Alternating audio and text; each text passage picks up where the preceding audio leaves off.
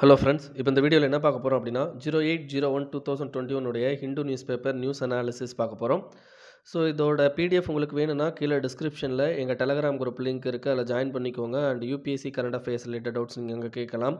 And உங்களுக்கு இந்த ஹிந்துவோடைய hand return notes வேணும்னாலும் அல்லது பிஐபி ஓகேங்களா? அதோட ஹேண்ட் ரிட்டன் நோட்ஸ் வேணும்னாலும் கீழே இருக்கிற டிஸ்கிரிப்ஷன் லிங்கில் இருக்கிற அந்த டெலகிராம் குரூப்பில் வந்து அப்லோட் பண்ணியிருப்போம் ஸோ நீங்கள் வந்து அங்கே டவுன்லோட் பண்ணிக்கலாம். சில பேருக்கு அந்த டெலகிராம் குரூப்போட லிங்க் ஒர்க் ஆகுறதில்ல. ஸோ என்னோடய ஃபோன் நம்பரும் கீழே கொடுத்துருக்கேன். ஸோ அதுக்கு நீங்கள் டெலகிராமில் எனக்கு மெசேஜ் அனுப்புங்க. உங்களை குரூப்பில் ஆட் பண்ணுறேன் ஸோ இன்றைக்கி ஃபஸ்ட்டு இது போயிடலாம். அன் அகாடமி பார்த்தீங்க அப்படின்னா உங்களுக்கு ரெண்டு வகையான கண்டென்ட் தராங்க. ஒன்று ஃப்ரீ கண்டென்ட் இன்னொன்று பார்த்தீங்க அப்படின்னா ப்ளஸ் கோர்ஸு ஃப்ரீ கண்டென்ட்டை பொறுத்த வரைக்கும் பார்த்தீங்க அப்படின்னா நீங்கள் live special class special marathon class daily test series mark test இந்த மாதிரி விஷயங்கள் வந்து ஃப்ரீ இதில் வந்து இது பண்ண முடியும். ஓகேங்களா ஃப்ரீ டெஸ்ட் சீரிஸில் உங்களுக்கு டெய்லி வந்து எட்டு மணிக்கு டுவெண்ட்டி கொஷின்ஸ் போடுவாங்க and they will give a study plan ஓகேங்களா? ஸ்டடி பிளான் கொடுப்பாங்க. அதே மாதிரி பார்த்தீங்கன்னா அதனுடைய சிலபஸும் உங்களுக்கு ப்ரொவைட் பண்ணிடுவாங்க. ஸோ நீங்கள் அன்லாக் பண்ணணும். இந்த ஃப்ரீ கண்டென்ட்டை நீங்கள் அன்லாக் பண்ணணும் அப்படின்னா உங்களுடைய கூகுள் ப்ளே ஸ்டோரில் அல்லது ஆப்பிள் ப்ளே ஸ்டோரில் போயிட்டு அன் அகாடமி ஆப்பை டவுன்லோட் பண்ணிக்கோங்க. ஸோ அதில் டிஎன்பிஎஸ்சின்னு கோலை செலக்ட் பண்ணிவிட்டு ஃப்ரீ லைவ் கிளாஸஸ்னு கொடுங்க. ஸோ அந்த ஃப்ரீ லைவ் கிளாஸஸ் கேட்கும்போது என்ன கேட்கும்னா ரெஃபரல் கோடு கேட்கும்.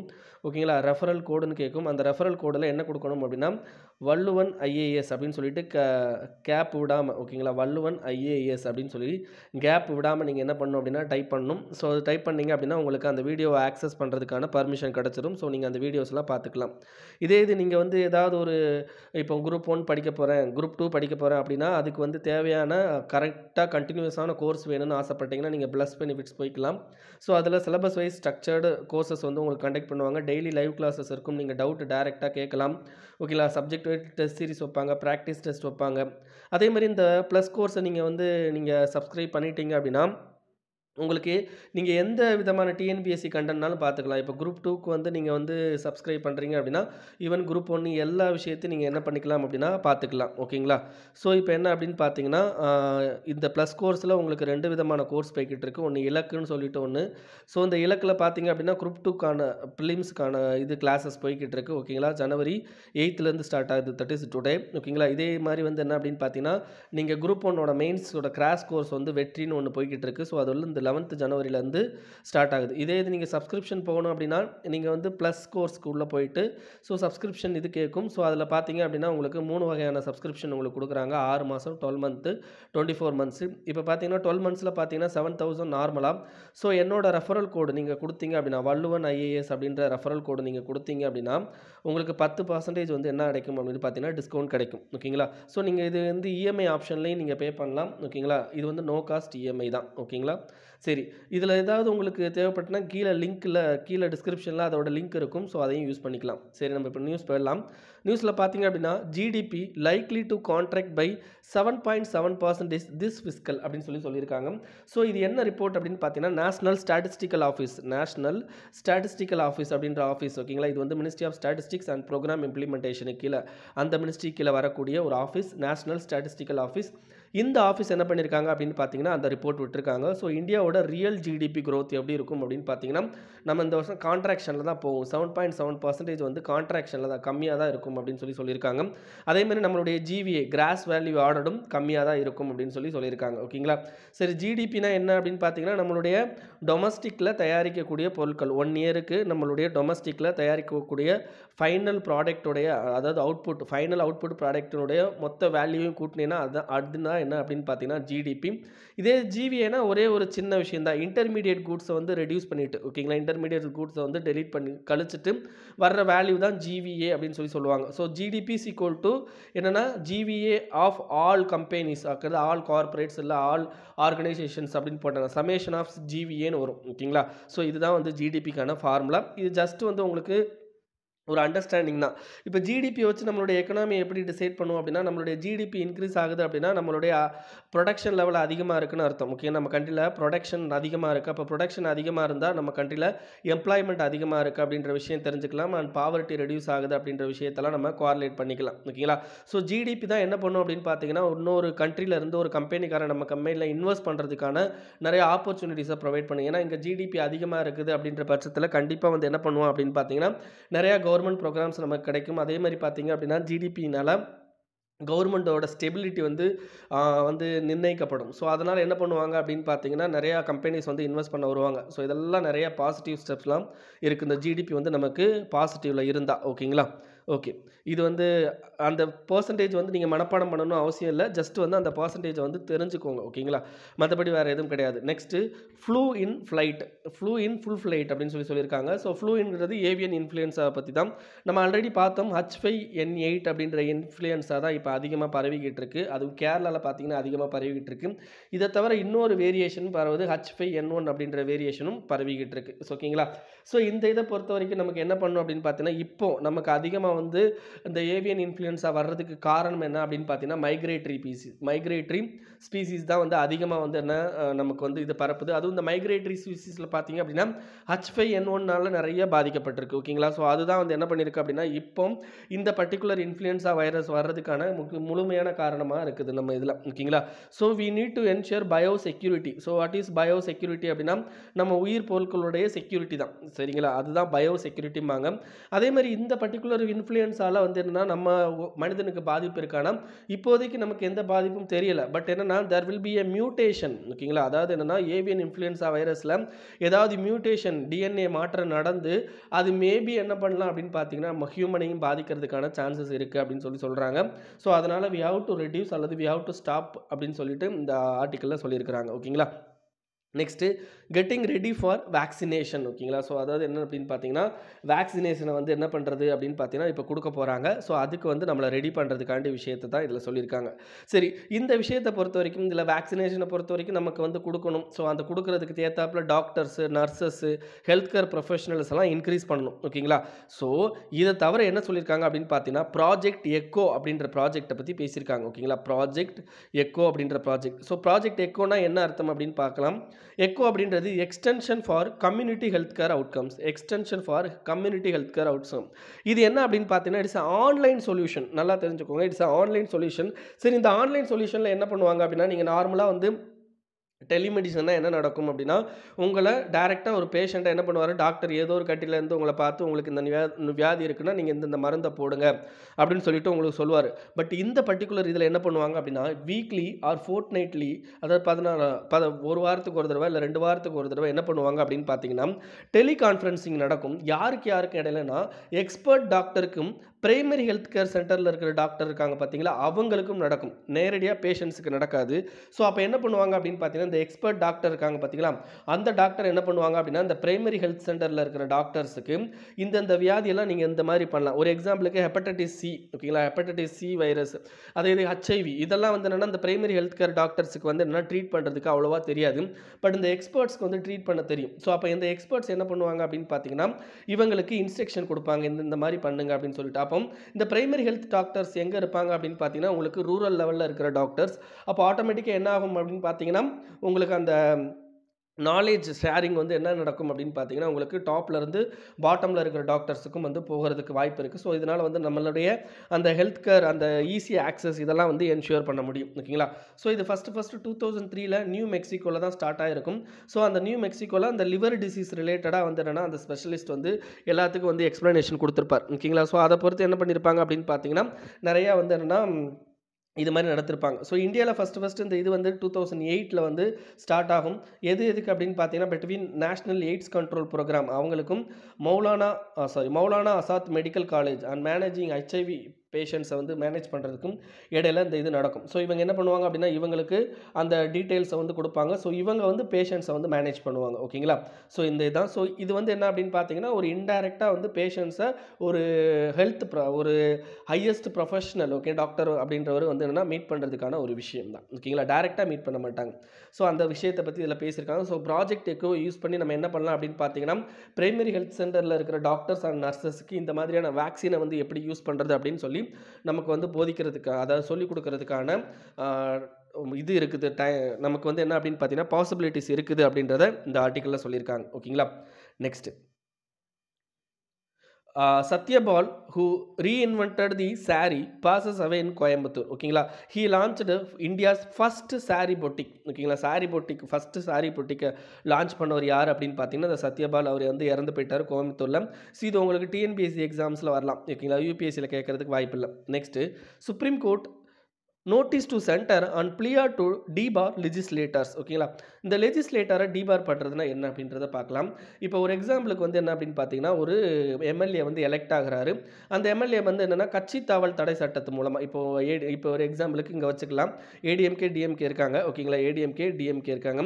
என்ன பண்ணுறாரு அப்படின்னு பார்த்தீங்கன்னா ஒரு ஏடிஎம்கேயோட எம்எல்ஏ எலெக்டான எம்எல்ஏ ஒரு எங் ஒரு எக்ஸாம்பிளுக்கு ஏதாவது ஒரு தொகுதி எடுத்துக்கிட்டிங்க அப்படின்னா இப்போ சென்னையில் வந்து அண்ணா நகர் தொகுதியில் வந்து ஒருத்தர் வந்து ஜெயிக்கிறாரு. ஓகேங்களா அண்ணா நகர் தொகுதியில் வந்து ஒரு எம்எல்ஏ ஜெயிக்கிறார் ஏடிஎம்கே எம்எல்ஏ அவர் ஜெயிச்சு இதுக்கு போனோடனே சட்டசபைக்கு போனோடனே அவர் என்ன பண்ணிடுறாரு அப்படின்னா கட்சி தாவிறார். எங்கள் டிஎம்கேக்கு கட்சி தாவிறாரு. அப்படி கட்சி தாவிட்டார்னா அவர் மேலே என்ன பண்ணலாம் அப்படின்னா கட்சி தாவல் தடை சட்டத்து மூலமாக என்ன பண்ணலாம் அப்படின்னா அவரை வந்து என்னென்னா அந்த பர்டிகுலர் எம்எல்ஏ பதவியிலேருந்து தூக்கலாம். ஓகேங்களா? அப்போ இந்த எம்எல்ஏ பதவியிலேருந்து இவரை தூக்கிட்டாங்க. ஓகேங்களா? எம்எல்ஏ பதவியிலேருந்து தூக்கிட்டாங்க. அப்போ இந்த அண்ணா நகர் தொகுதி வந்து வேக்கண்ட் ஆகிடும் கரெக்டாக அப்போ அந்த அண்ணா நகர் தொகுதி வேக்கண்ட் ஆகிடுச்சுன்னா உங்களுக்கு என்ன நடக்கும் அப்படின்னு பார்த்தீங்கன்னா ஒரு பை எலெக்ஷன் நடக்கும். இடைத்தேர்தல் நடக்கும். அப்போ அந்த இடைத்தேர்தலில் என்ன பண்ணுவார் அப்படின்னு பார்த்தீங்கன்னா மறுபடியும் இந்த டிஎம்கேக்கு ஒருத்தர் ஷிஃப்ட் ஆனார் பார்த்தீங்களா அந்த பர்டிகுலர் பர்சன் இந்த பை எலெக்ஷனில் நின்று என்ன பண்ணுவார் அப்படின்னா மறுபடியும் ஜெயிக்கிறதுக்கான சான்சஸ் இருக்குது ஓகேங்களா ஸோ அதனால் அவர் ஜெயிச்சு மறுபடியும் என்ன பண்ணுவார்னா டிஎம்கே சீட்டுக்குள்ளே போய் டிஎம்கேட்ட வந்து மினிஸ்டர் போஸ்ட் வாங்கிடுவார். ஏன்னா இங்கே எம்எல்ஏவாக இருந்தவருக்கு மினிஸ்டர் போஸ்ட் கொடுக்கல. உடனே கவலைப்பட்டு டிஎம்கே போகிறாரு அப்போ டிஎம்கே போனோன்னா டிஎம்கேயில் வந்து என்ன பண்ணிடுவாங்க அப்படின்னு பார்த்தீங்கன்னா டிஎம்கே ஆட்சி அமைக்கும் தான் மினிஸ்டர் போஸ்ட் அவருக்கு கிடச்சிடும். ஓகேங்களா ஸோ அப்போ என்ன ஆகிடும் அப்படின்னு பார்த்தீங்கன்னா உங்களுக்கு இந்த தொகுதியில் இருந்த எம்எல்ஏ அவருடைய அந்த இதை யூஸ் பண்ணி அவர் என்ன பண்ணுறாரு அப்படின்னு பார்த்தீங்கன்னா கட்சியை தாவிட்டு அதே மாதிரி மறுபடியும் இடைத்தேர்தலையும் வந்து போட்டியிட்டு ஜெயிக்கிறாரா? ஸோ இதை தடுக்கணும் அப்படின்றதுக்காண்டி தான் என்ன பண்ணுறாங்க ஒரு பிளியா ஒரு இது போட்டிருக்காங்க. இந்த மாதிரி டென்த்து ஷெடியூலுக்கு கீழே ஓகேங்களா டென்த்து ஷெடியூலுக்கு கீழே ஒருத்தரை வந்து எலெக்ஷனில் ஒருத்தர் வந்து என்ன பண்ணுறாங்க அப்படின்னு பார்த்தீங்கன்னா எலெக்ஷனில் இருந்து ரிமூவ் பண்ணுறாங்க அப்படின்னா லைக் அதாவது அவரோட எம்எல்ஏ பதவியிலேருந்து அவரை ரிமூவ் பண்ணுறாங்கன்னா அவரை கண்டிப்பாக எந்த என்ன பண்ணக்கூடாது அப்படின்னா அதே தொகுதியில் அந்த பர்டிகுலர் டைமில் அந்த எலெக்ஷன் நடக்கிறதுக்கு சாரி ஒரு நிமிஷம். அந்த எலெக்ஷன் நடக்கிறதுக்கு அவரை வந்து அனுமதிக்கக்கூடாது. எலெக்ஷனில் வந்து அவரை பார்ட்டிசிபேட் பண்ணுறதுக்கு அனுமதிக்கக்கூடாது. அப்படின்றத வந்து என்ன பண்ணணும் அப்படின்னு பார்த்தீங்கன்னா நம்ம என்ஷூர் பண்ணணும் அப்படின்னு சொல்லி ஒருத்தர் கேஸ் போட்டிருக்கார். ஓகேங்களா? ஸோ இதை வந்து article one seventy two mention பண்ணி கொடுத்துருக்காங்க. ஸோ ஆர்டிகல் ஒன் செவன்ட்டி டூவில் என்ன சொல்லியிருக்கோம் அப்படின்னு பார்த்தீங்கன்னா ஒரு மெம்பர்ஷிப் ஒரு எம்எல்ஏ அப்படின்னு ஒரு எக்ஸாம்பிளுக்கு வச்சுக்கிட்டா அவருடைய மெம்பர்ஷிப் எப்போ வந்து டெர்மினேட் ஆகும் அப்படின்னா அந்த பர்டிகுலர் ஹவுஸ் வந்து அந்த பர்டிகுலர் ஹவுஸ் பர்டிகுலர் ஹவுஸ் அப்படின்றது இந்த எம்எல்ஏ செலக்ட் ஆன ஹவுஸ் அந்த அஞ்சு வருஷத்துக்கு இருக்கும். அந்த அஞ்சு வருஷம் முடியும் போது அவருடைய பதவியும் முடிஞ்சு போயிடும் அப்படின்றது. இல்லாட்டி சம் எக்ஸப்ட் சர்க்கம்ஸ்டான்சஸ் இருக்குது அந்த இடத்துல வந்து என்னென்னா அவருடைய பதவி முடிஞ்சு போயிடும் இருக்கு. அப்போ இந்த இந்த ஒரு ஃபஸ்ட்டு ஒரு விஷயம் சொன்னல அவருடைய மெம்பர்ஷிப் வந்து coterminous to the that five years of that house ஹவுஸ்னு சொல்லலாம் அப்போ அந்த ஹவுஸ் வந்து அஞ்சு வருஷத்துக்கு இருக்கா? அப்போ இவர் வந்து டென்த்து ஷெடியூலில் கீழே வெளியே வந்துட்டாராம். அப்போ அந்த அஞ்சு வருஷம் முடிகிற வரைக்கும் அவர் எந்த தொகுதியிலையும் அவர் போட்டியிடக்கூடாது. அதுவும் அந்த தொகுதியில் போட்டியிடக்கூடாது இடைத்தேர்தல் வந்தாலும் அப்படின்னு சொல்லிட்டு கேஸ் போயிருக்குது. ஓகேங்களா ஸோ அதுதான். ஸோ இன்னும் வந்து என்ன முடிவு எடுக்கலை? ஜஸ்ட் வந்து எலெக்ஷன் கமிஷன்கிட்ட ஒப்பீனியன் கேட்டிருக்காங்க. அவ்வளோதான் next new freight corridor a big boost PM ஓகேங்களா ஸோ இந்த வெஸ்டர்ன் ஃப்ரைட் காரிடாரை வந்து நம்ம பிஎம் வந்து ஒரு திறந்து வச்சிருக்காரு. அது வந்து ஒன் பாயிண்ட் ஃபைவ் கிலோமீட்டருக்கு வந்து திறந்து வச்சிருக்காரு. அது என்ன ஏரியானா நியூ ரேவர் அப்படின்ற ஏரியாலேருந்து மடர் அப்படின்ற செக்ஷன் வரைக்கும். சரி இந்த வெஸ்டர்ன் ஃப்ரைட் காரிடார் அப்படின்றது எங்கேருந்து ஸ்டார்ட் ஆகுது அப்படின்னா உங்களுக்கு இந்த டெல்லி ஏரியாவிலேருந்து ஓகேங்களா உங்கள் டெல்லி ஏரியாலேருந்து வெஸ்டர்ன் ஃப்ரைட் காரிடார் ஸ்டார்ட் ஆகி மும்பை வரைக்கும் என்ன ஆகுது அப்படின்னு பார்த்தீங்கன்னா உங்களுக்கு மூவ் ஆகுது ஓகேங்களா இந்த வெஸ்டர்ன் ஃப்ரைட் காரிடாரை பொறுத்த வரைக்கும் இந்த ஃப்ரைட் காரிடார்னா என்ன அப்படின்னு பார்த்தீங்கன்னா உங்களுடைய ப்ராடக்ட்டோட மூவ்மெண்ட் ட்ரெயின் மூவ்மெண்ட் தான் இந்த ஃப்ரைட் காரிடார் அப்படின்றது. இப்போ பார்த்தீங்க அப்படின்னா உங்களுக்கு நமக்கு இந்த இடத்துல தயாரிக்கக்கூடிய பொருட்கள் எல்லாத்தையும் என்ன பண்ணிக்கலாம் அப்படின்னு பார்த்தீங்கன்னா we can move across these areas ஓகேங்களா? So we can move across these areas அப்படின்ற போது நமக்கு அதிகமான டிரான்ஸ்போர்ட்டேஷன் அந்த கம்யூனிகேஷன் ஃபெசிலிட்டி வந்து கிரியேட் ஆகுது.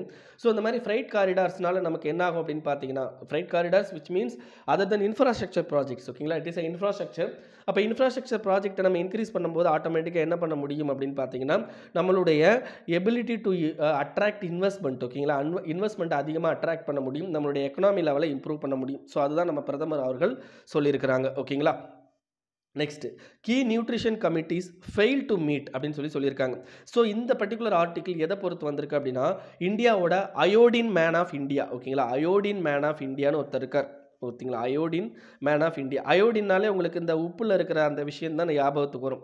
ஸோ அயோடின் அப்படின்றது பார்க்கும்போதே என்னென்னா நம்மளுடைய தைராய்டு பிரச்சனை இதுக்கெல்லாம் வந்து முக்கியமாக காரணம் அயோடின் குறைபாடுகள் தான். அப்போ அந்த அயோடின் குறைபாடுகளை வந்து என்னென்னா நம்ம சரிப்படுத்துறதுக்காண்டி நம்ம என்ன பண்ணியிருப்போம் உப்பில் வந்து அதிகமான அயோடின் சேர்த்துக்கணும் அப்படின்னு சொல்லி சொல்லியிருப்போம் ஸோ அதை வந்து என்ஷூர் பண்ணதுக்கு அயோடின் மேன் ஆஃப் இந்தியா அவர் தான் வந்து என்ன மிகப்பெரிய லெவலில் இருந்திருப்பார். ஸோ அவர் பேர் சந்திரகாந்த். ஓகேங்களா? சந்திரகாந்த் எஸ். பாண்டவ். ஓகேங்களா? எஸ். பாண்டவ் அப்படின்றது. சந்திரகாந்த் எஸ். பாண்டவ். மாட்டோன்றது ஸோ அவர் எடுத்த அவர்கிட்ட எடுத்த இன்டர்வியூ மூலமாக போட்டிருக்காங்க. ஸோ அவர் இன்டர்வியூவில் என்ன சொல்லியிருக்காரு அப்படின்னா நேஷனல் நியூட்ரிஷன் மிஷன் ஓகேங்களா டூ தௌசண்ட் செவன்டீனில் நேஷனல் நியூட்ரிஷன் மிஷன் வந்திருக்கும். ஸோ அந்த மிஷனுக்கு கீழே முக்கியமாக மூணு கமிட்டி வந்து ரெடி பண்ணியிருப்பாங்க கவர்மெண்ட் மூணு கமிட்டி ஃபஸ்ட்டு கமிட்டி என்ன அப்படின்னு பார்த்தீங்கன்னா நேஷனல் நியூட்ரிஷனல் கவுன்சில் அப்படின்ற ஒரு கமிட்டி இந்த கமிட்டிக்கு ஹெட் யார் அப்படின்னு பார்த்தீங்கன்னா நித்யா வைஸ் சேர்மன் அண்ட் இந்த இது வந்து என்ன ஆகிட்டு இருக்கும் அப்படின்னா ரொட்டேட் ஆகிட்டே இருக்கும். Between twelve union ministers and five chief மினிஸ்டர்கிட்ட rotational பேசிஸில் அந்த ஹெட் வந்து வந்துக்கிட்டே இருப்பாங்க. ஓகேங்களா நேஷனல் நியூட்ரிஷன் கவுன்சில் இது தவிர executive council sorry executive committee for national nutrition mission இது வந்து என்னென்னா உமன் அண்ட் சைல்டு டெவலப்மெண்ட் மினிஸ்ட்ரியோட செக்ரட்டரி வந்து இதுக்கு தலைவராக இருப்பாங்க. இதுக்கடுத்து national technical board nutrition on nutrition அப்படின்னு சொல்லிட்டு ஒரு கமிட்டி ஸோ இந்த கமிட்டியோட ஹெட் யார் அப்படின்னு பார்த்தீங்கன்னா நித்தி ஆயோக்கோட மெம்பர் ஓகேங்களா இவங்க இந்த மாதிரி மூணு கமிட்டி இருக்குது இந்த மூணு கமிட்டியுமே என்ன பண்ணும் அப்படின்னு பார்த்தீங்கன்னா எவ்வரி குவார்டர் ஓகேங்களா எவ்வரி குவார்டர் என்ன பண்ணும் அப்படின்னு ஒரு வருஷத்தில் எவ்வரி குவார்டர் என்ன பண்ணணும் அப்படின்னு பார்த்தீங்கன்னா அவங்க மீட் பண்ணணும் அப்படின்றது சொல்லியிருக்கு. ஓகேங்களா எவ்வரி குவார்டர்னா மூணு மாதத்துக்கு ஒரு தடவை அவங்க என்ன பண்ணணும் மீட் பண்ணி அந்த ப்ரோக்ராமோட இம்ப்ளிமெண்டேஷன் லைக் நேஷனல் நியூட்ரிஷன் மிஷனோட இம்ப்ளிமெண்டேஷன் ஏதாவது வந்து சஜஷன் கொடுக்கறது. இன்னும் நியூட்ரிஷன் லெவலில் இம்ப்ரூவ் பண்ணுறதுக்கான சஜஷன் கொடுக்கறது. இதை மாதிரிலாம் வந்து அவங்க கொடுக்கணும். பட் என்ன ஆகுது அப்படின்னு பார்த்தீங்கன்னா இந்த ரெண்டாயிரத்தி இருபதில் அவங்க ஒரே ஒரு தடவை தான் மீட் பண்ணியிருக்காங்க. ஸோ இந்த மாதிரியான விஷயங்கள்னால நம்மளுடைய நியூட்ரிஷனல் லெவலோட அந்த இம்பார்ட்டன்ஸ் வந்து போயிடுச்சு அப்படின்னு சொல்லி இந்த the particular iodine man of India வந்து அந்த இன்டர்வியூவை வந்து ஹிந்துவுக்கு கொடுத்துருக்காரு. ஓகேங்களா?